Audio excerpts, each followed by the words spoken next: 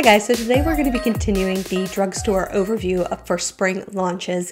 If you've missed my earlier videos, I will link them down below, but essentially what I'm doing is going through every single drugstore brand out there and looking at everything that they've launched, showing you pictures of everything that's come out, and then going through my reviews of all the products that I've tried.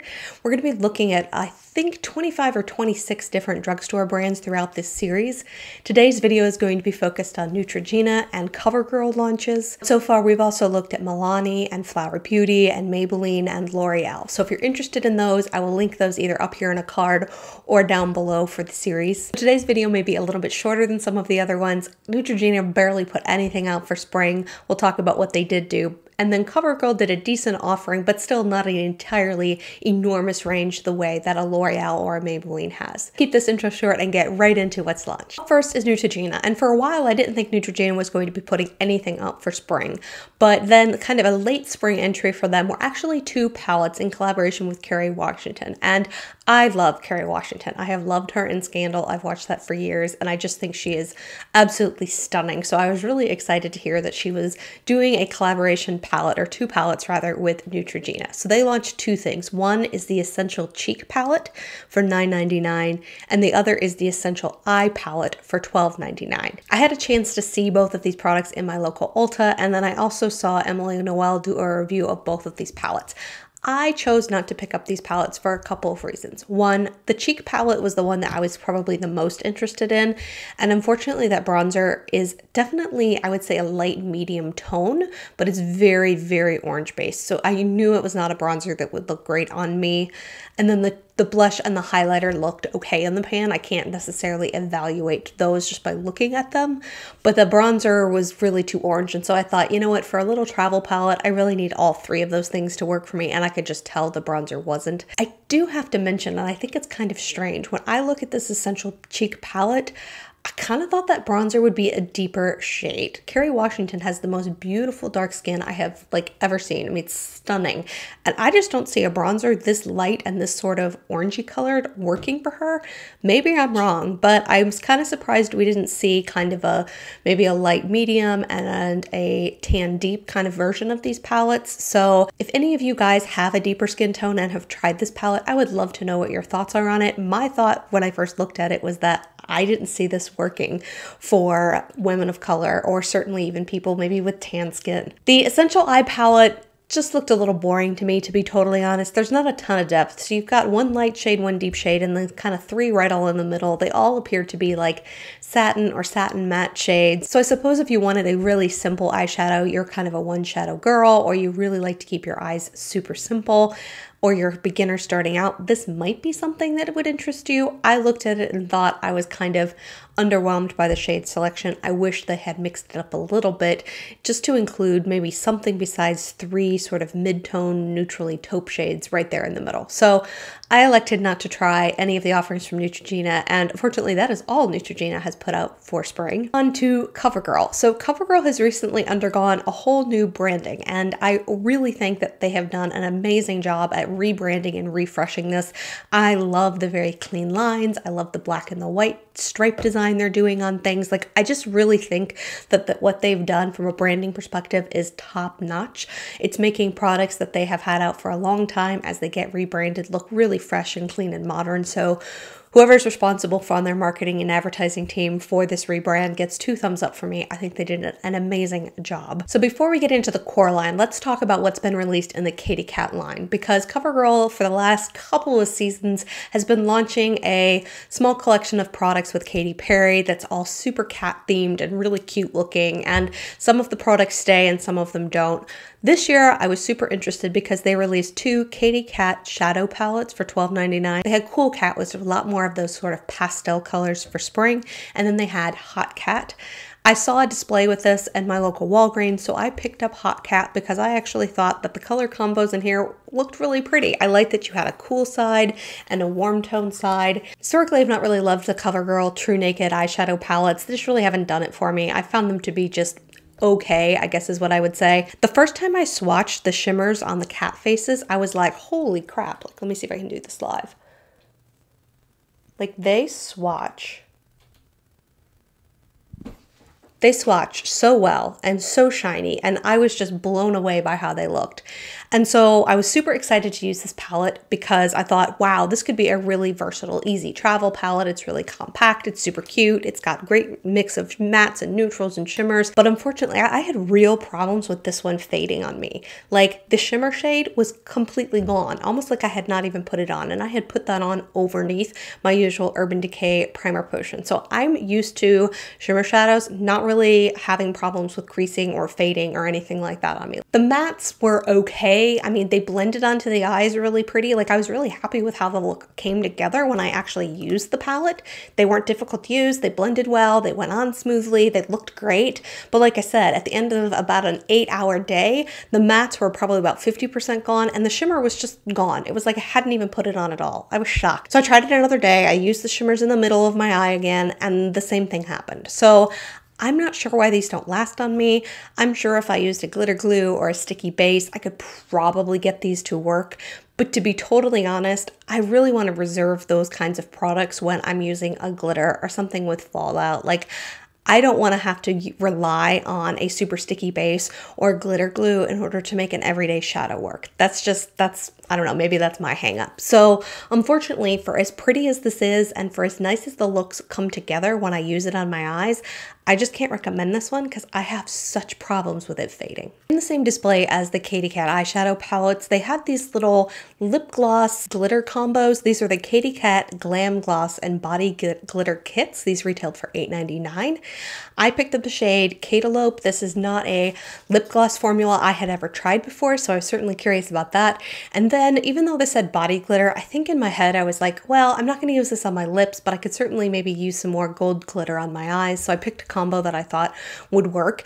Unfortunately, that little glitter was clearly labeled when you open the package for body use only, and it said avoid eye area in big bold letters. So I did end up chucking that one because there's just I'm not going to have any reason for gold body glitter. So I did try the shade Catalope, and as you can see, she has a whole range of lip glosses. So she's released 12 different shades of this, and there's definitely some fun, funky colors, lots of purples, a funky blue, this sort of prismatic white one, um, and then some pinks and peaches right there in the middle. It has sort of that light, fruity CoverGirl smell. If you've smelled a lot of CoverGirl lip products, this will not be an unfamiliar scent to you. But the thing that's interesting to me is that these are almost more of lip vinyls. So they're a lot thicker and they're a lot more pigmented than you would expect them to be. So you really get full pigmentation on your lips when you use those. So I like both of these colors. I think that they're fun to wear, but they're not something I'm going to be layering with. They're not that lightweight gloss that's going to show any of the color underneath.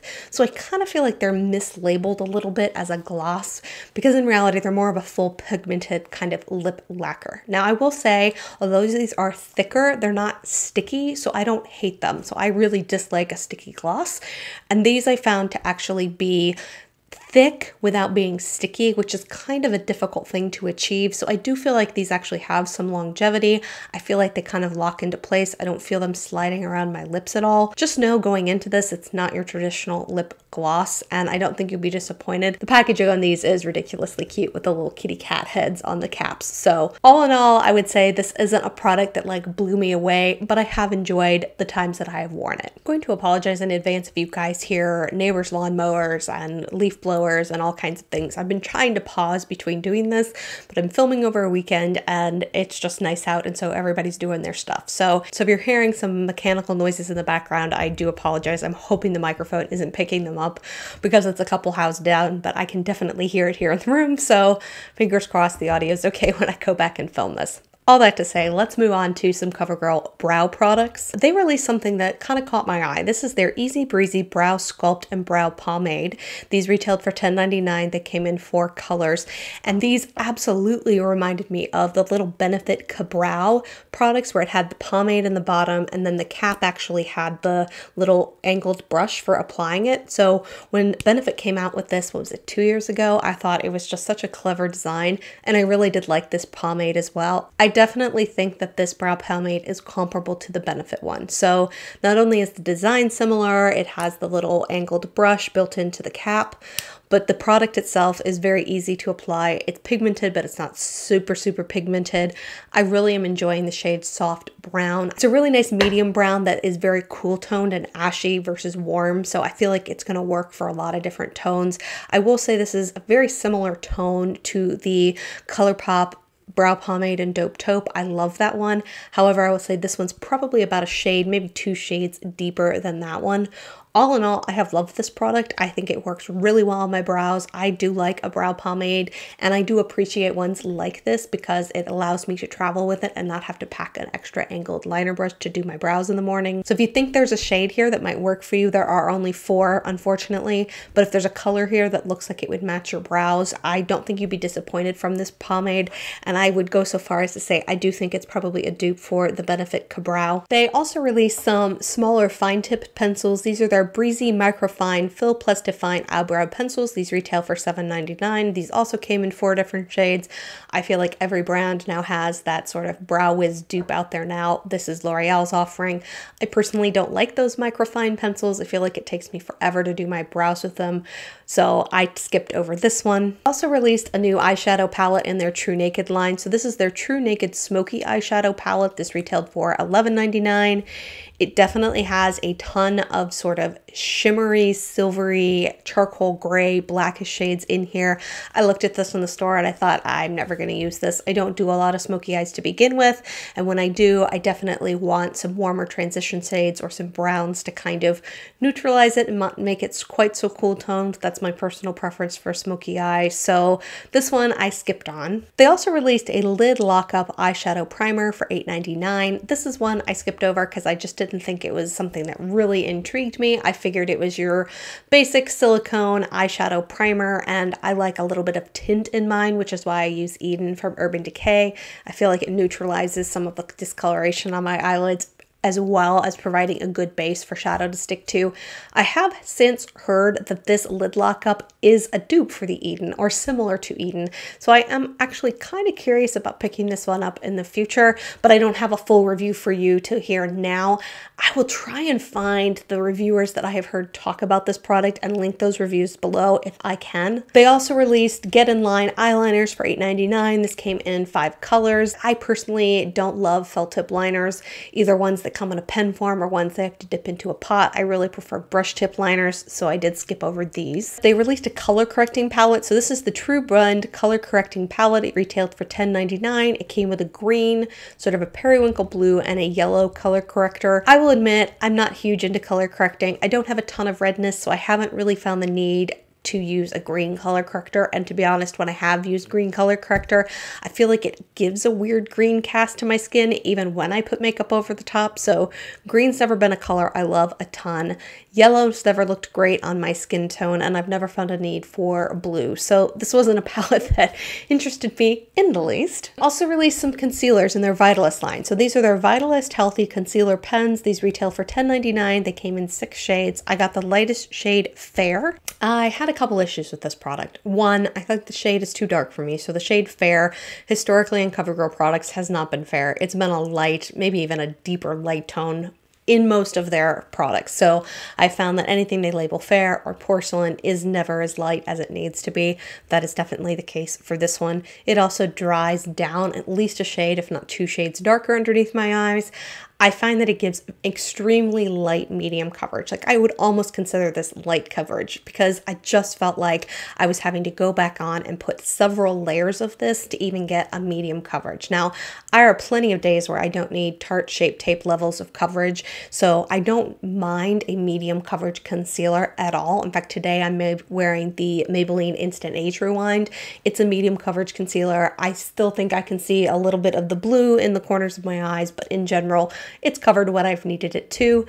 I just find that this one gives so much less coverage. Like I have to do two layers of this to get this level of coverage. And then when I do, I find that it just looks cakey. It sits weird on my skin. It looks a little dry. So two layers definitely makes this product not work for me. And one layer, it's like I don't even know why I would bother putting on concealer. I will say I pulled up the Ulta website just a second ago to double check how much product was in this tube because it's not actually listed on here.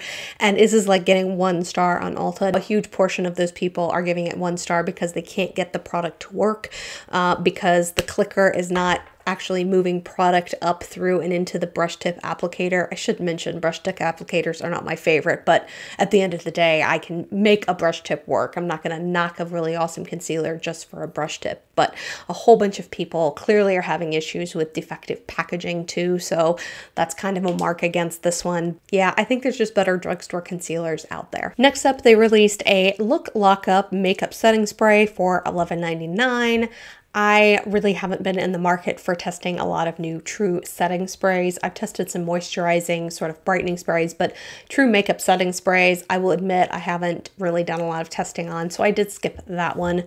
They also released four shades just four, of the Vitalist Healthy Setting Powder for $11.99. I don't know if they're going to expand the shade range at some point, but this is going to work for a handful of people. The classic ivory shade looked too dark for me, so I skipped over it. This is also a talc-based powder, so it wasn't one that I was like super gaga to test. I find that a lot of talc-based powders tend to look a little heavy on my skin, and I'm not looking to add coverage when I powder my foundation. I'm just looking to set it. So this wasn't one that I was really interested interested in. They also released six shades of a cream highlighter. This is their Vitalist Healthy Glow highlighter. These retailed for $10.99. I have seen this formula before. It came out last year with a Katy Kat line. They released two shades and I picked one of them up and it was awful. It was so thick and putty like that I couldn't get it to blend out on my skin at all. It was just goopy feeling. And then I thought, well, maybe if I can't use it on my cheeks, I'll use it on my eyelids and maybe it'll be like a nice cream shadow.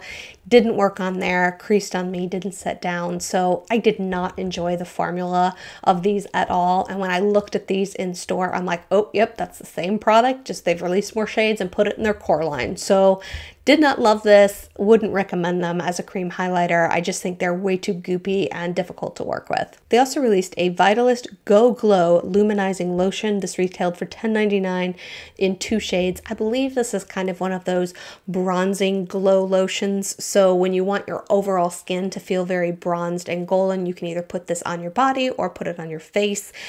Bronzing all over with deeper goldeny shades like this is something that I would never do because it just would look bizarre on someone as fair as me. So I did skip over these. I think if you have a tan to deep skin tone, you might really enjoy these either on your body or perhaps to give a nice glow all over your face. But for me, that was kind of a skip product. As far as lip products, they've released a couple of things. So they launched the Vitalist Tinted Lip Oil for 524. There were six shades in this. None of the shades really appealed to me and I was kind of thinking it looked almost more like a lip stain oil when I was looking at these in store and I don't know.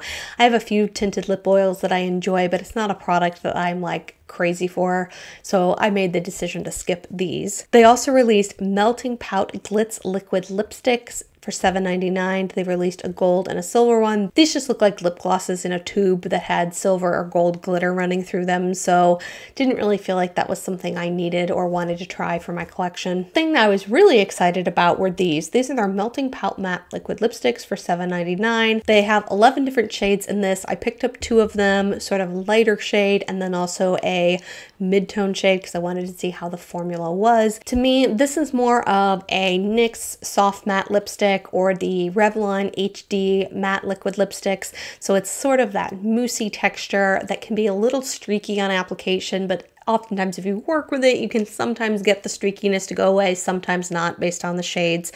And then they're matte, but they're not necessarily transfer proof, but that also makes them not super drying. So I think I would be more apt to like these or want to work with them more if not for the smell. So the smell of these is just, it is pure nasty chemical. Like I don't know how to describe it. It's really strong and really tangy chemical scent. Like I, it's really bad. And they've obviously tried to add some sort of fragrance to cover up whatever dimethicone smell is giving these lipsticks that scent that chemicaliness. But I feel like the fragrance they're adding is just compounding the problem. And so now you've got this like, I don't know, makes your eyes almost water to smell it. And unfortunately, it's one of those ones that I continue to smell even once it's on my lips. And then it gives my lips sort of a chemically taste once they're on. So You know, the two shades I have are fine. I got them to work. Both of them are a little streaky on first application. You can get usually an even coating with a couple of passes through your lips, but I just, I can't recommend these. The smell is just horrific. And then, like every drugstore brand out there, they have released a holographic lip gloss. So this is their Melting Pout holographic lip color. It retails for $7.99. It is exclusive to Ulta. It comes in eight different shades. It does appear to have some interesting shades. Tingle shade and Kindle and Big Bang and Revelry. Like these are interesting looking shades. They are ones I might consider picking up. None of my local Ultas have actually gotten them in stock yet and I really wanted to see the colors of these before I tried any of them, but this might be something that I give a whirl to in the future, but wasn't something that I wanted to just purchase sight unseen off a website. CoverGirl and Neutrogena didn't put out a ton in comparison to some of the other drugstore brands we've talked about, but I hope this was helpful giving you an overview of what's launched. I certainly have seen a ton of new products starting to come out this summer for CoverGirl, some new foundations and some other products, so I'm definitely got my eye out for what CoverGirl is going to continue continue to launch and rebrand as they kind of go through this kind of new thought process from a product marketing perspective as well as a branding. So I'm curious to see what's coming out from CoverGirl. I'm super curious about the new foundation. But like I said, this video was focused on what really launched during the springtime. So during the months of kind of January to April. If you like this video, make sure to subscribe and hit that notification bell. There's a lot more videos like this coming here soon. Up next, we're going to be talking about Revlon and Almay, and then then we're moving on to Essence, and there's some Physicians Formula in the near future as well. I hope you guys are having a great day. Look forward to talking to you guys soon. Bye.